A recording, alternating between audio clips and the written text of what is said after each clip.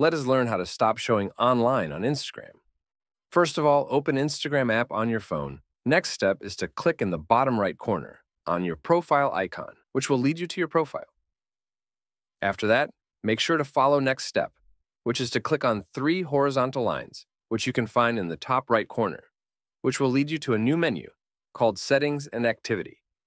After that, make sure to scroll down until you find Messages and, and Story Replies, which will be in the section called How Others Can Interact with You.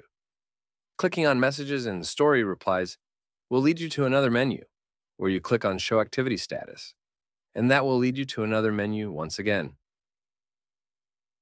Make sure that the first option, Show Your Active Status, is off, not on, because turning it off will make stop showing your profile as being online.